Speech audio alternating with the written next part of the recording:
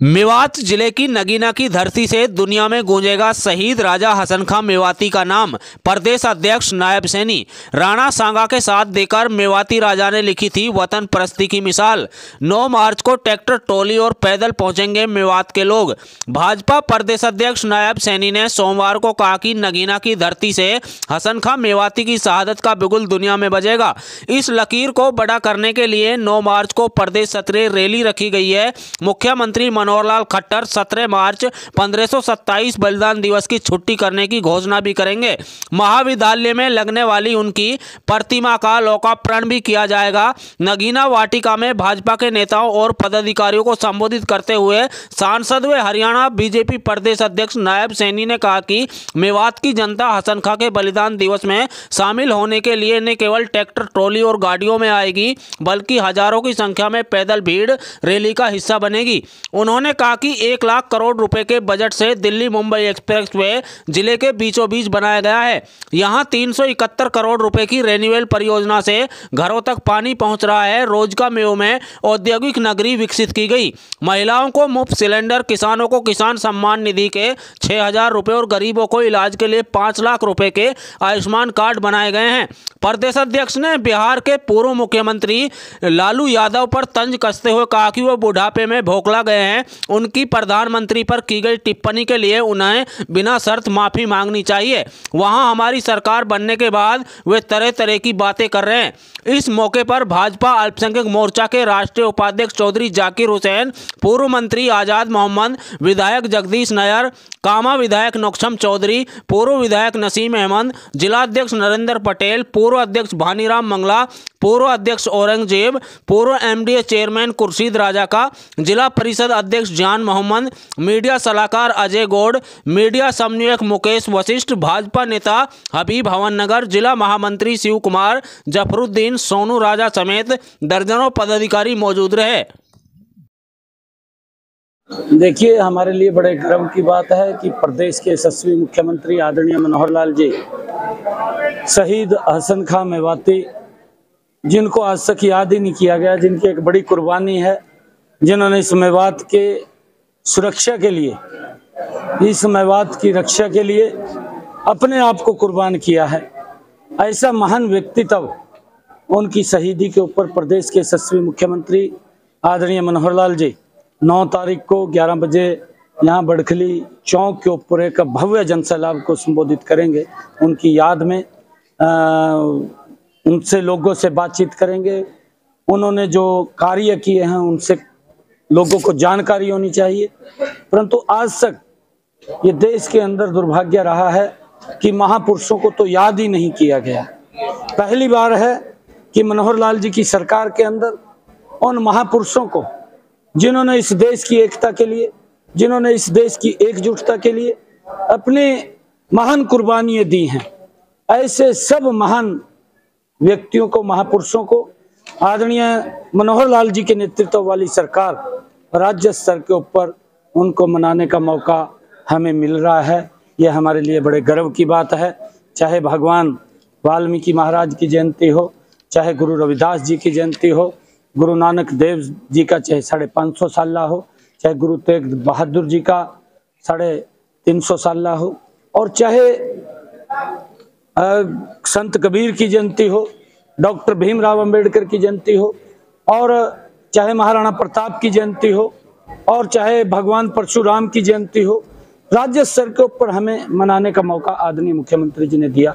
उसी कड़ी के अंदर जो हमारे शहीद हसन खां मेवाती, जिनको आज तक याद नहीं किया गया, आदरणीय मुख्यमंत्री मनोहर लाल जी, उनको राज्य स्तर के ऊपर ये कार्यक्रम आयोजन करके, जिसके अंदर लाखों की संख्या के अंदर लोग आएँगे लोगों के अंदर एक बड़ा उत्साह और जोश देखने को मिल रहा है। इन दस वर्षों के अंदर मनोहर लाल जी ने जिस प्रकार से मेवात को, विकास को, मामले में मेवात को एक अग्रणी जिला के अंदर ला करके खड़ा किया है, कांग्रेस ने लगातार मेवात की अनदेखी की है।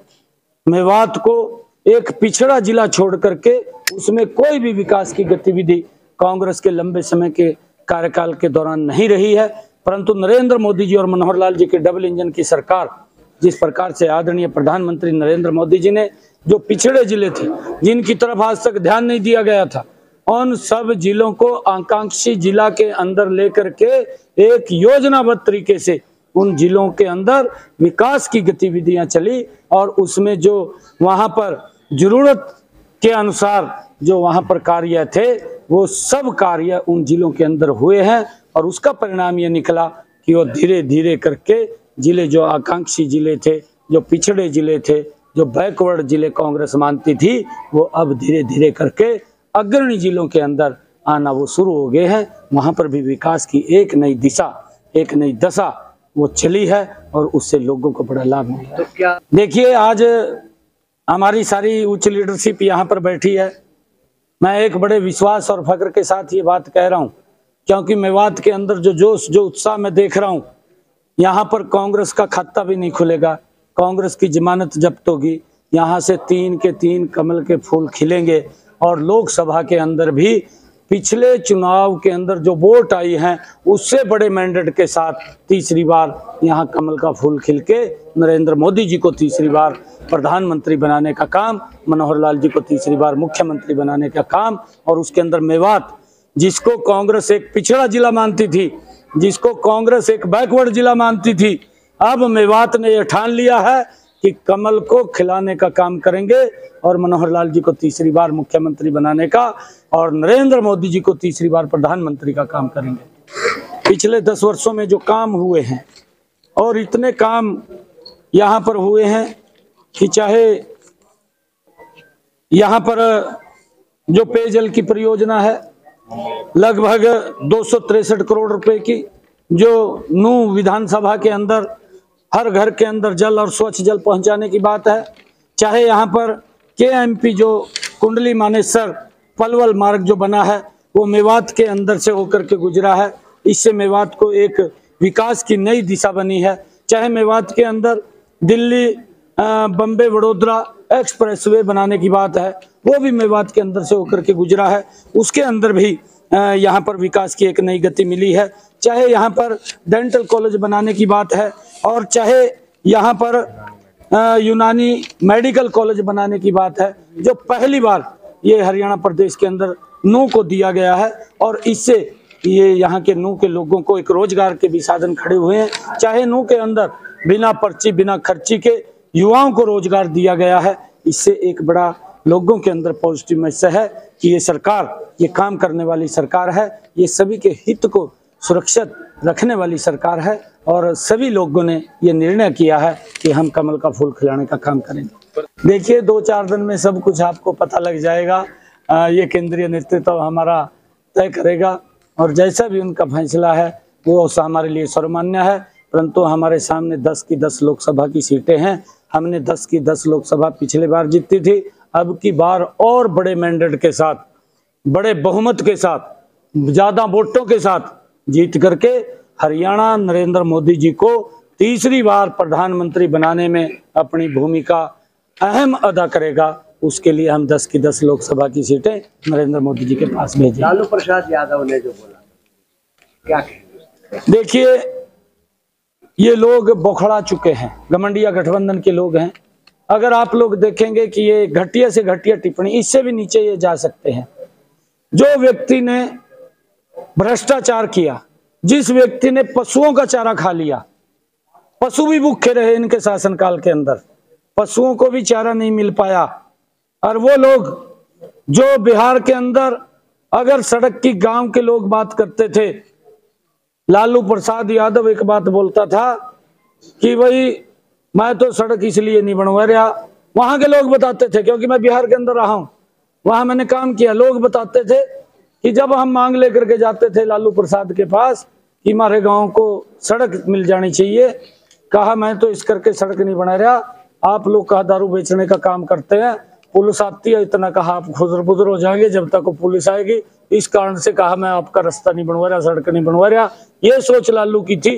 वो सारा का सारा पैसा वो भ्रष्टाचार की भेंट चढ़ता था, वो सारा का सारा पैसा पशुओं को भी नहीं बख्शा उनको भी खाने का काम किया और उसका परिणाम ये कि जेल के अंदर पड़ा है, उसके ऊपर एफ़ दर्ज है और वो सजा याफ्ता है और इस प्रकार की अभद्र टिप्पणी, ऐसे जो सजा याफ्ता लोग हैं, उनके लिए शोभा नहीं देता क्योंकि वो पहले ही सजा याफ्ता है, इस प्रकार की बातें, वो घटिया स्तर की बातें वो करते हैं, परंतु देश के लोग जानते हैं कि नरेंद्र मोदी जी ने देश को किस दिशा के अंदर लेकर के गए हैं।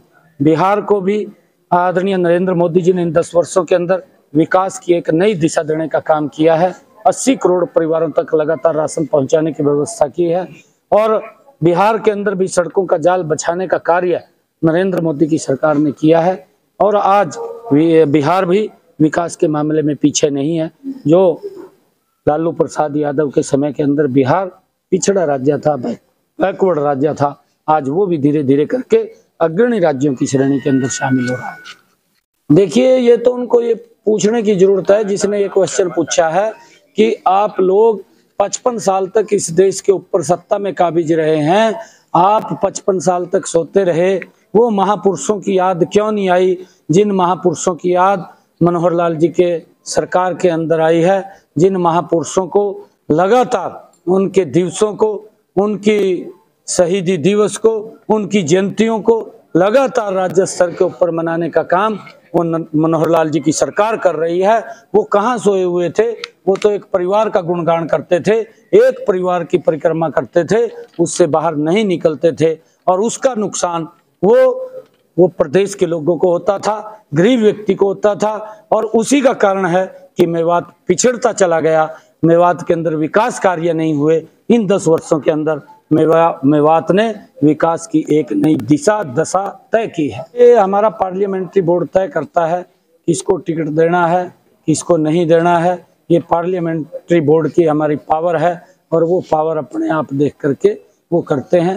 हमें जो भी व्यक्ति जीतना वाला है उन सबको टिकट मिलेगी सरकार में नौकरियों को बिकने की बात कही है क्या कहेंगे?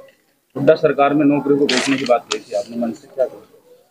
नहीं, हुड्डा साहब ने ये कहा, मेरे को एक पत्रकारों ने पूछा था कि हुड्डा साहब ने विधानसभा में कहा है कि मेरे ऊपर आरोप लगा रहे हैं कि नौकरियाँ हमारे शासन में बिकती थी, कि मुझे तथ्य चाहिए। मैंने तो उनको ये कहा था कि तथ्य तो हरियाणा प्रदेश का युवा है, तथ्य तो हरियाणा प्रदेश के युवाओं के माँ बाप हैं, जो ज़मीन बेच करके, जो बैंक से निकलवा करके कहीं से ऋण लेकर के जो पैसा देते थे नौकरी के लिए। नौकरी भी नहीं कई बार लगती थी। पैसा भी चला जाता था, ज़मीन भी बिक जाती थी, कर्जा भी चढ़ जाता था, फिर भी नौकरी नहीं मिलती थी। ये हरियाणा प्रदेश के ही युवा बोलता है। हरियाणा प्रदेश के युवाओं के माँ बाप बोलते हैं। परंतु मनोहर लाल जी के कार्यकाल के अंदर आज हरियाणा प्रदेश का युवा बोलता है कि आज बिना पर्ची, बिना खर्ची के युवाओं को रोज़गार मिल रहा है। बाबा जी ने